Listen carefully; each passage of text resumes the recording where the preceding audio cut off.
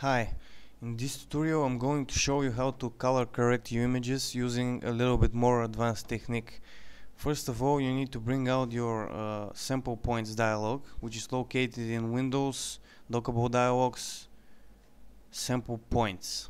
Once you do that, the way you actually select these sample points is by control clicking on the ruler then bringing down the point. Now we need to select three points for shadows, midtones and highlights. So let's do that. Here you can see your point and uh, the information about the red, green and blue channels.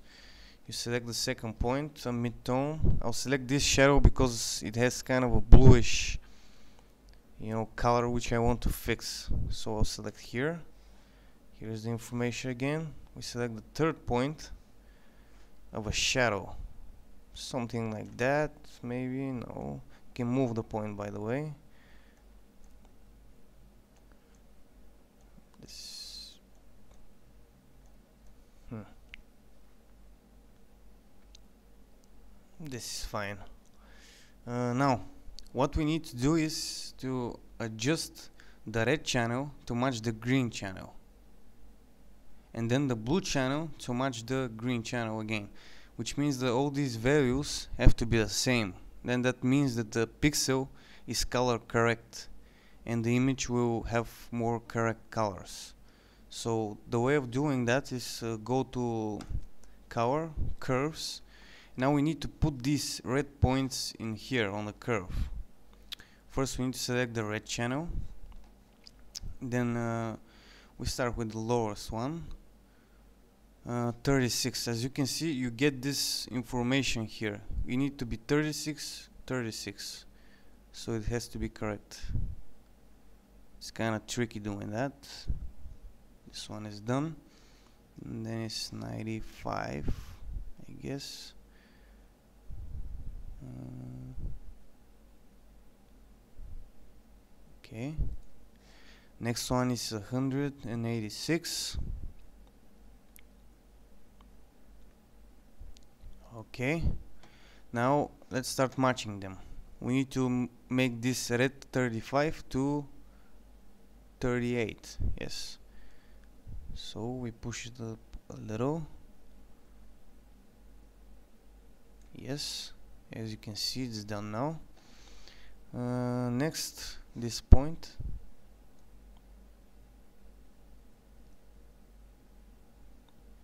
there is some lag because of the recording it should appear faster.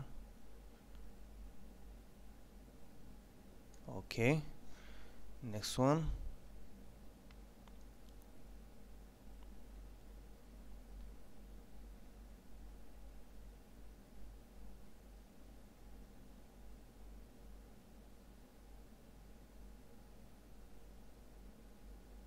okay.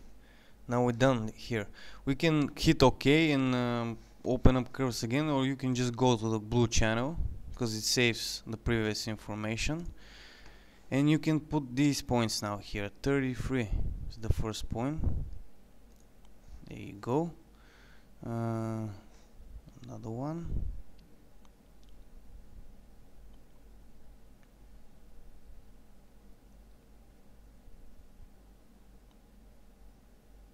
okay. 94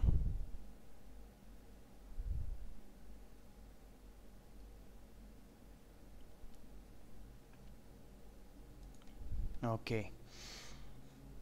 Now let's match them.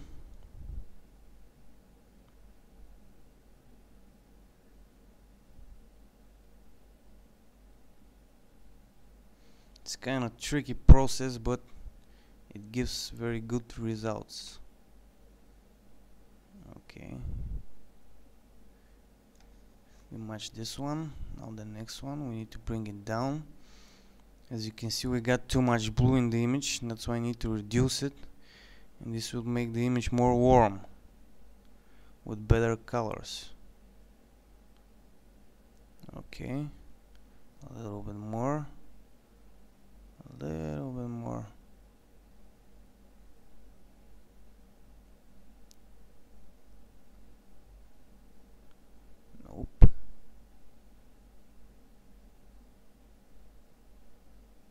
still not done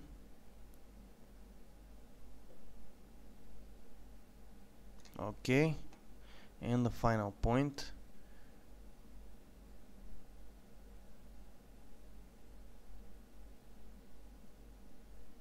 this will be a lot more faster for you because you're not going to experience the lag from the recording. And now it's done. We just hit ok and we got our image color corrected. Now let's open it one more time as a layer. We'll open it as a layer so we can see the difference. And you can see now how much more warmer colors the shadows are no longer blue. As you can see look here how bluish the image is the shadows are no longer blue. The image is much more brighter. You have this warm image which is much better than it used to be as you can see. So this is it. I hope you liked this tutorial and if you did subscribe to my channel. I'll post more videos with more advanced techniques about dealing with GIMP